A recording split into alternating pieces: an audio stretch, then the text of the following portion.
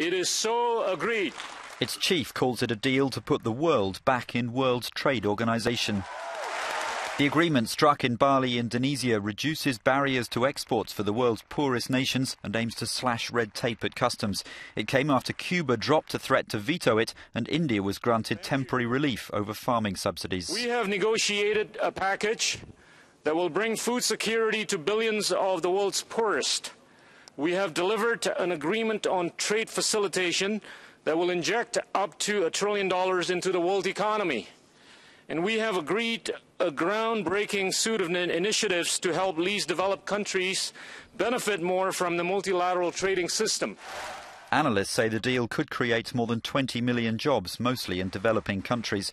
After 12 years of talks, there was little hope of success, but as the latest session spilled over into an extra day, the WTO chief said the entire membership came together. The deal still needs to be approved by each member government. It also needs to convince skeptics such as the anti-WTO demonstrators in Bali who accuse it of imperialist practices exploiting poorer countries. One analyst said the deal does little other than paper over a serious dispute on food security.